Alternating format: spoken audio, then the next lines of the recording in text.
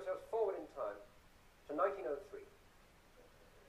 For those of you who haven't got used to these newfangled ideas yet, that is three minutes past seven.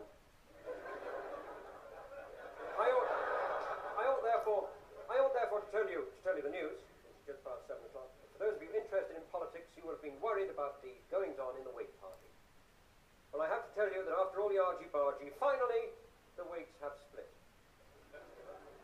And a very unpleasant sight it is, too. We may have to do away with the Whigs altogether, in fact, start again with a new centre party. I, um, no, I, I ought really to be brave, but I might fall off, see if I go out there. Well, like all this lot have. oh, no, that's what happened.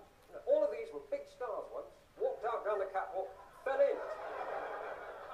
Now they all have to sit there pretending